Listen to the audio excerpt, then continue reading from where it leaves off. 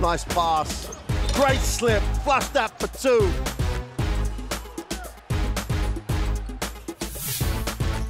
Taylor. Football on the move to set the screen. Taylor goes the other way, drives right down Main Street for the big jam. Double T taking off. And another steal. Fieler and inspired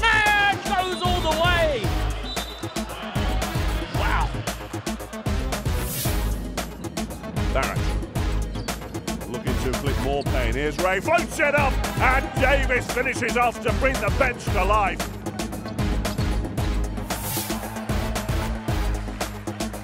And I'll get another easy two here, I reckon. Oh my word! What a huge dunk that was! Absolutely!